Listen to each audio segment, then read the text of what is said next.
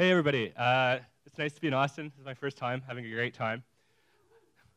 Uh, so I'm Andrew, Andrew Louis. Um, pay attention here. My name is Andrew. Uh, if you notice carefully, I'm not wearing a badge. Uh, and something uh, happened here. Uh, there's an identity th thief somewhere in here. Uh, I think my name is pretty common, and someone was like, oh, Andrew. nobody will notice that one gone. so look around you. If there's someone wearing an Andrew badge, and they're not an Andrew, let me know. because um, I really want one of these badges. Um, so I'm going to be talking about a personal project I've been working on for the last little while. Uh, but before I get into it, uh, I'm going to talk about history. Uh, so we don't hear too much about history at tech conferences usually. I love history, and I find all kind of excuses to tell it to people. So uh, we're going to start in the 1930s. Uh, and it, it, it, start, it uh, it's about this person, Vannevar Bush. Uh, so he was a cool scientist, engineer. Uh, he worked at MIT in the 30s, uh, and he built some of the first analog computers. These were giant mechanical computers that mostly did calculus. Uh, this was a hard problem. Uh, it took a lot of uh, a lot of work, and he automated it with mechanical systems. this is an example of one of them. so the operator on the right is actually tracing the curve, and, the, and then the integral is calculated mechanically. So they're really cool devices.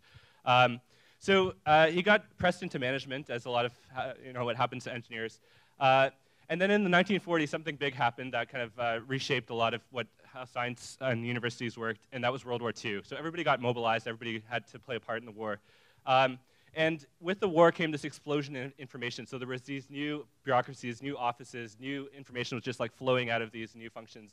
Um, and new paper was coming out, new reports, new science. Um, and these are just some of the pictures that really visualize how much information was being created. And Vannevar Bush's job during the war was to, uh, was to distill this all down, all the research that was being done, and give recommendations to the president uh, and, and, and really understand what was happening in research and, and make recommendations.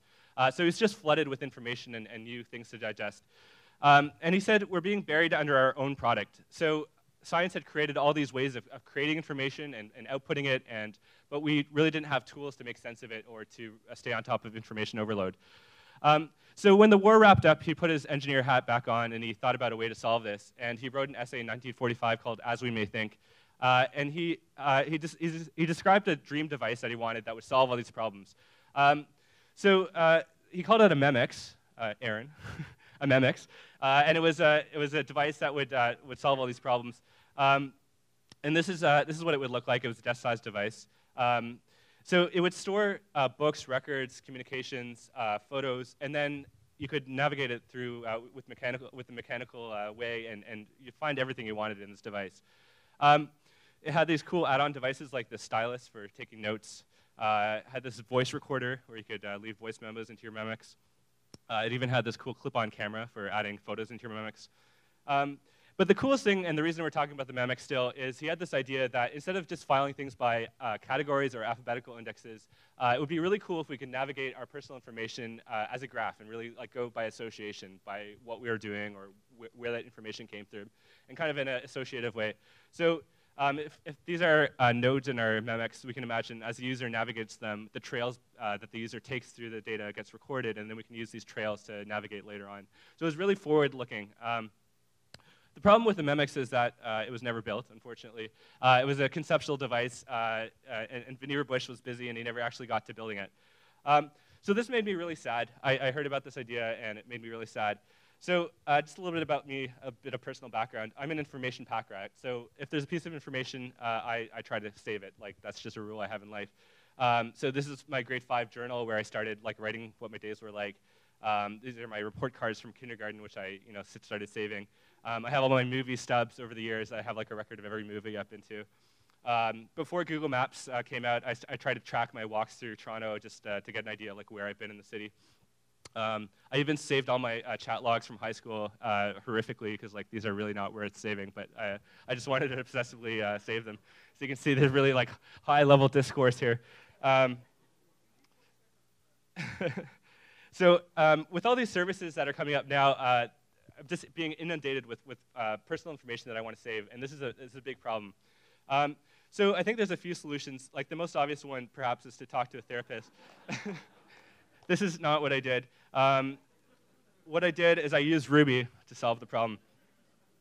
So I went about building a Memex. Um, the, the, the, the, biggest problem so far has been gathering the data. So um, i am trying to make it all-encompassing and, and, capture everything I read or see, my browser history.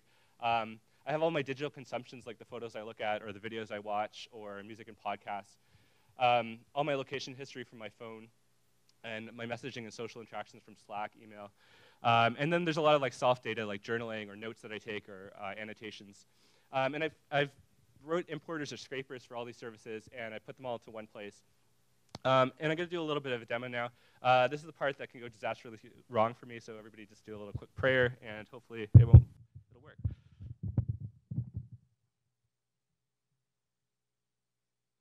Okay, is that, is that readable for people? Yeah, okay, cool.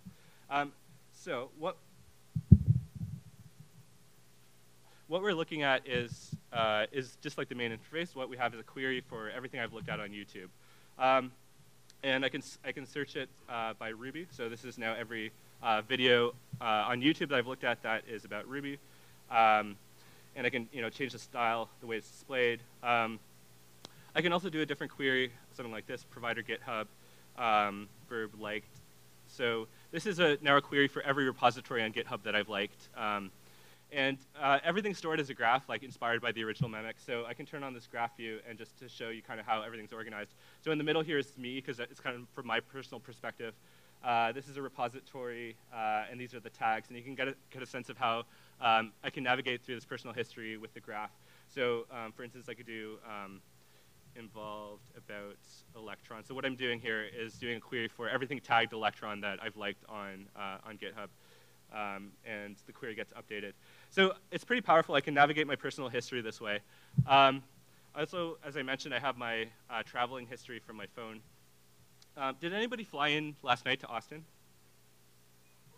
Uh, what what time? There was there was a lot of uh, there was a lot of uh, thunder yesterday, and uh, if I turn on my my history of traveling, kind of see what happened. We flew from Toronto to Houston, and in Houston for a layover, uh, our pilot was going west to Austin, and then he saw the thunderstorms, and he was like, nope, not today, Satan.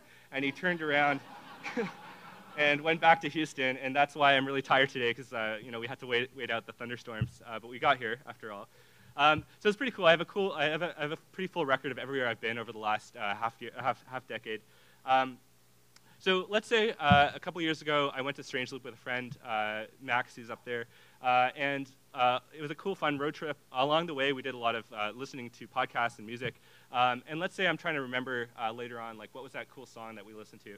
So I can do a query um, occurred with Max, and um, I'm going to do verb traveled first of all. So this is every all, all, the times I've traveled in a car.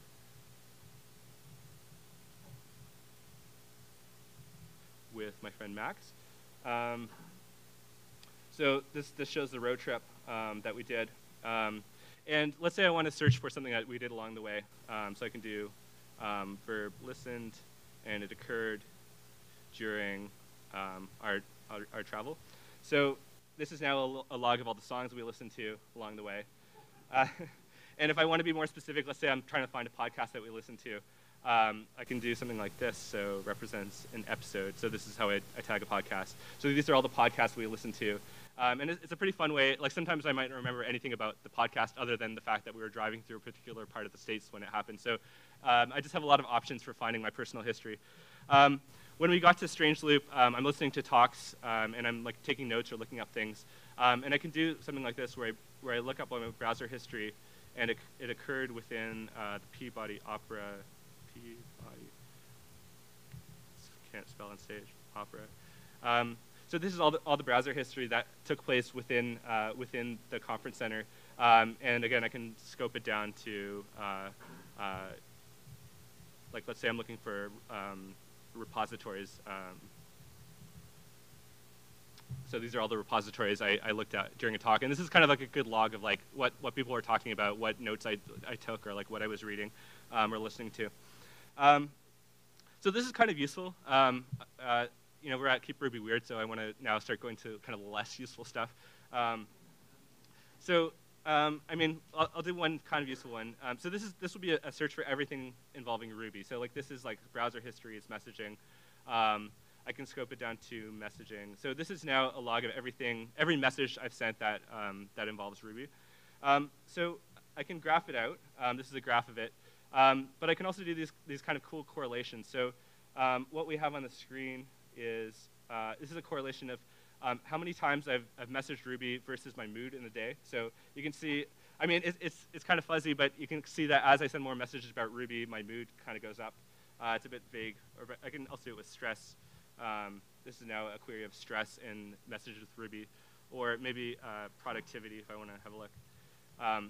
So as we can see, the more messages I send about Ruby in the day, the more productive I am. Um, and you know, it's kind of uh, useful maybe to learn about myself this way.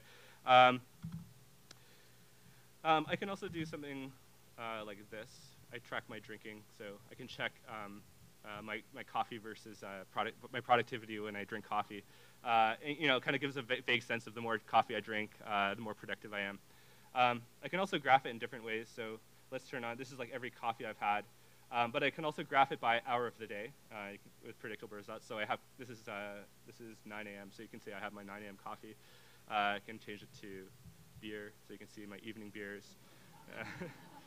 and, you know, beer before liquor, never been sicker, I think is how it goes. Uh, you can see as the night goes on, sometimes I switch to liquor. Uh, I also track my eating. Um, so this is uh, now all the burritos I've had. Um, you can see when I, when I have them. Um, so now let's kind of maybe try to make it a little bit more useful. But let's say, let's say I was reading a book and I'm trying to find a quote from that book that I was reading uh, while I was eating a burrito. And I really don't remember anything. I don't even remember the book it was. I don't remember what it was about. But I just remembered I was eating a burrito while I was doing it. So I can turn on the map view, and uh, okay, I, I, remember I might have been in Toronto, um, so um, um, I'm just gonna search for burritos eaten near Toronto. Um, so these are all the burritos I've had, and I can turn on my burrito heat map here, and and um, as I as I scroll through my uh, burrito heat map, uh, I, am just trying to get a sense of like where where I eat these burritos, and maybe uh, maybe one of them will come and pop into my head about like that time I was eating and reading. Uh, so one pops up over here. Uh, let's have a look. Um, so I can zoom in, have a look at it, and see what else I was doing at the time. So um, here I was. Uh, it was a you know 20 degrees Celsius day. I was in a park and I was reading a book. So that's great. That's what, I was looking for and then I can go in and see like what else I was doing. I, you know, I had the photos here. I have the quotes that I saved from the book, which is what I, what I was looking for, my burrito, you know, other things I did. So um, it's a bit contrived. This doesn't happen, you know, it doesn't happen too often. But when it when it does, when I do have something I'm trying to find that's a bit esoteric, I have a lot of different ways of uh, of, of, finding it. Um, so yeah, that's that's the personal project. Uh, quick quick demo of it, uh, and it worked. So I'm happy about that. Uh,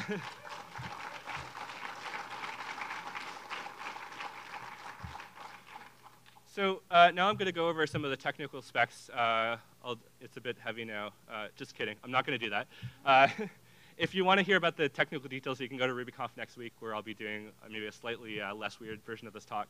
Um, or you can talk to me after. I love talking about this stuff. Um, but right now, I want to talk about something else. Does anybody recognize this? What, what kind of proof is this? Just someone yell it out. It's a delta epsilon proof. Um, so I was a, I was a new computer science student uh, many years ago, and I, I, was doing these math classes, and, and, it, and, these delta epsilon proofs were just kicking my ass. Like, I was really depressed about it. I thought I shouldn't be in computer science. I was pretty close to dropping out. Uh, I really wanted to switch to history and just like never touch computers again. So, um, you know, these, these, are just some records I dug up from the past that kind of like captures like my feelings around the same time. This is like me just asking a friend, um, can I double major in history and philosophy of science? Like, this is where my brain was at.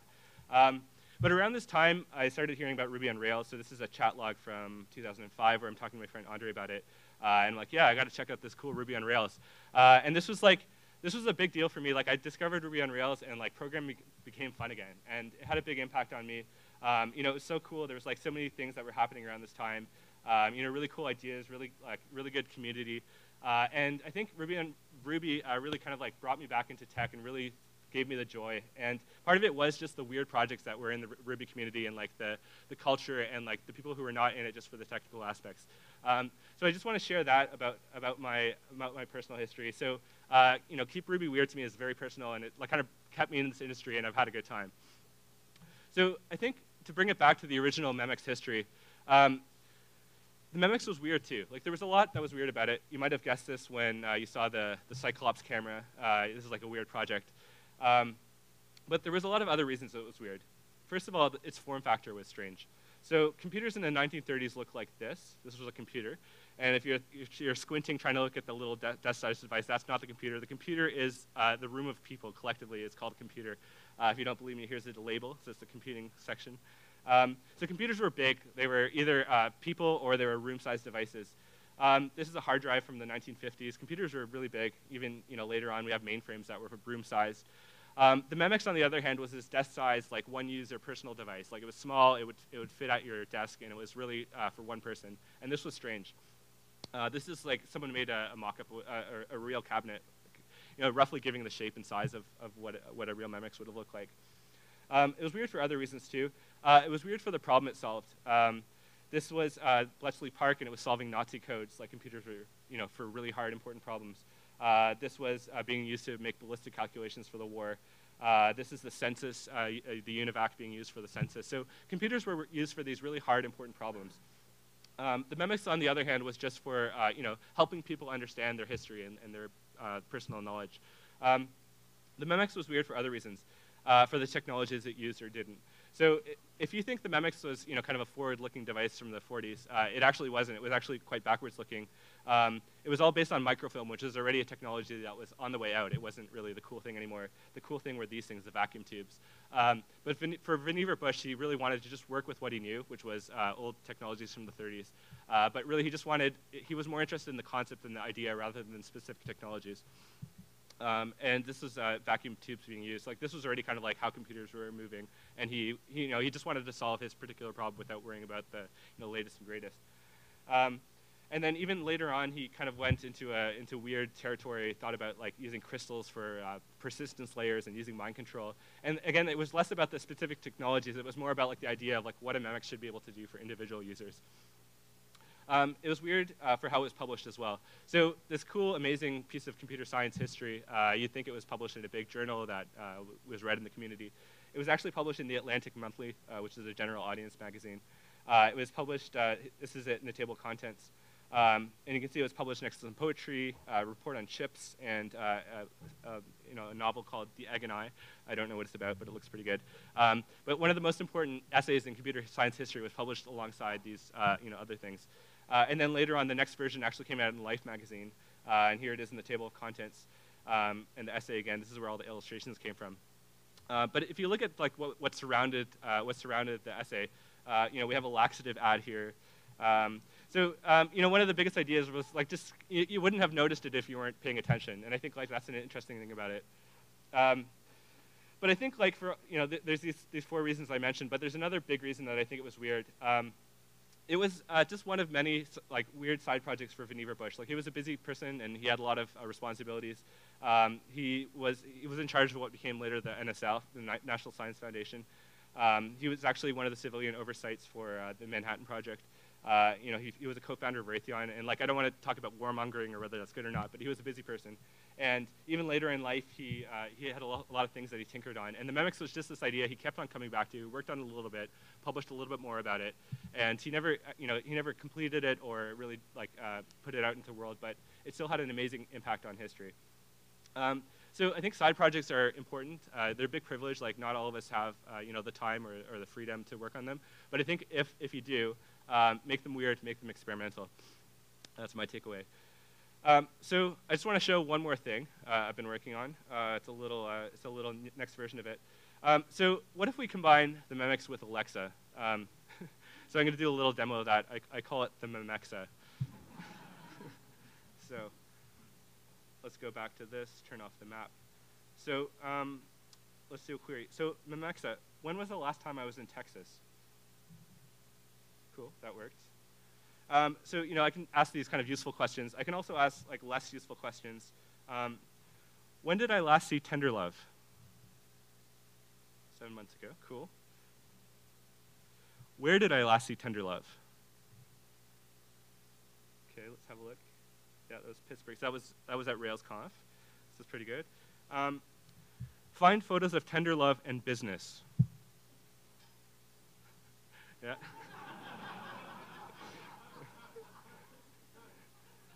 Okay. Um, find photos of tender love and poutine. Yeah, I got that. you know, and for each one of these, we can kind of go in and look at the context. Like this, in this case, this was a conference in Montreal called QSIC.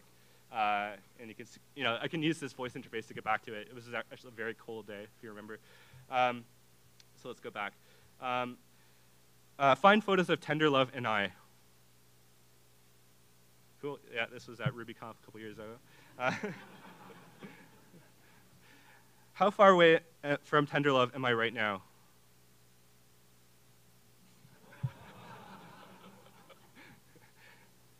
okay, you know, obviously that last one was fake. Uh, but I mean, the, re the rest were real, and they were coming from real data that was, that was in here.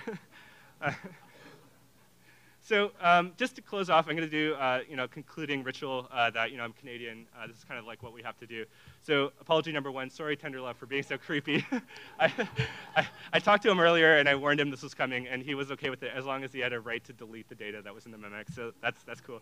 Uh, apology number two, uh, so I was working on this on the plane yesterday. Uh, this is me working on the plane. So I just want to apologize to the person next to me who had to listen to me talking about Tender Love, my laptop, the whole flight.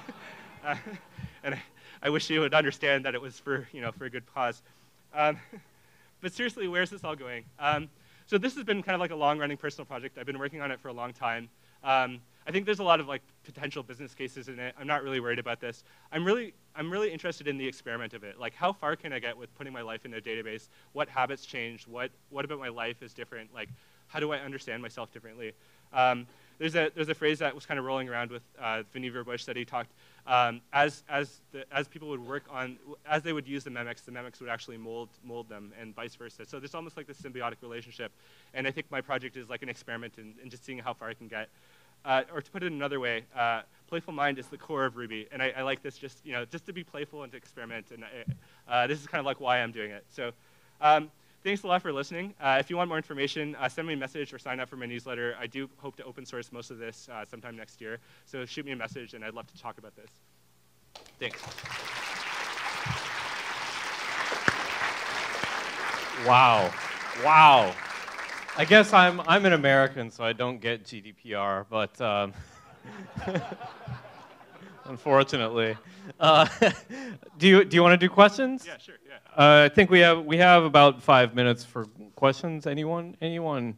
Okay, I will, I will start here because you're closer.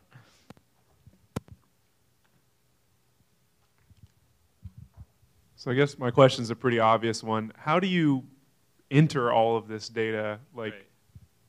do you type it into your phone as you're going places, or do you have some kind of automatic tracking? Right, yeah. So the majority of stuff on the screen was actually automated. Like the stuff that wasn't automated was like the uh, the beer and like the food, like that wasn't. And like also sometimes I tag people manually. Uh, so like I have a little app on my phone that I, you know, it's like a really simple uh, command line kind of app, uh, and I enter data that way. But the majority of the rest of the stuff was like coming from like Twitter likes or browser history or um, like I've automated almost all of it. Like the travel logs are all from my phone. Um, so yeah, like the majority stuff, like I could I could have a pretty useful version of this that wasn't wasn't using any of the manually entered stuff at all. So yeah, like the burritos are fun for demos, but like you know that's not the most important part of this project. So yeah.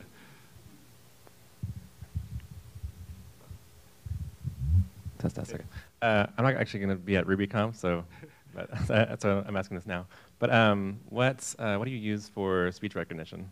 Uh, speech recognition. It's the web. It's the web speech API. Uh, it's available in, in Firefox and Chrome it does a pretty good job. Like, yeah, I, you know, this actually took maybe like I don't know, two hours of work. Like, it wasn't that wasn't hard at all. Yeah.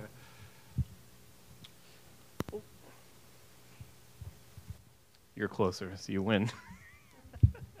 yeah. Uh, how important is the the graph for modeling those relationships, and and are you using a uh, graph database?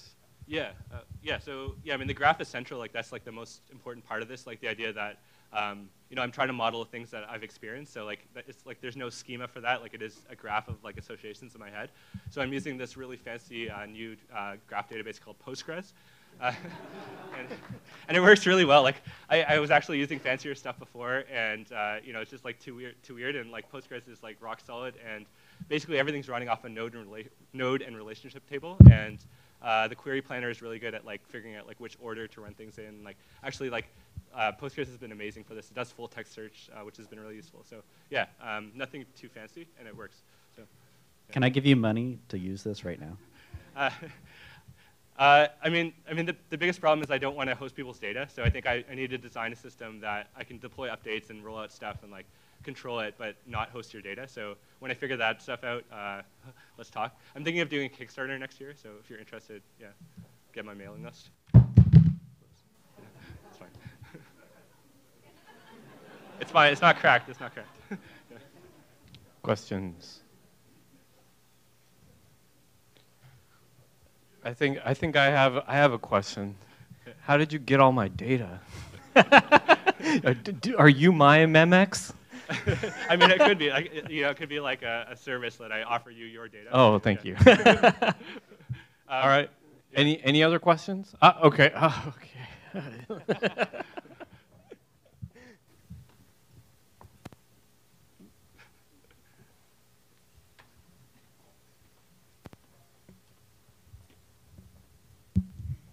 So, what sort of uh, insights have you gotten from the data?